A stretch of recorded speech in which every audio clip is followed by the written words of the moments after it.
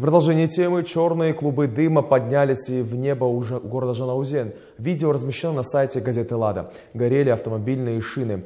На место прибыло несколько бригад пожарных, которые в оперативном порядке взяли ситуацию под свой контроль. Усугубляло тушение то, что резина при горении выделяет высокую температуру и вредные вещества. Площадь горения составила 25 квадратных метров. Жертв пострадавших, к счастью, нет, и дознаватели устанавливают причины данного пожара.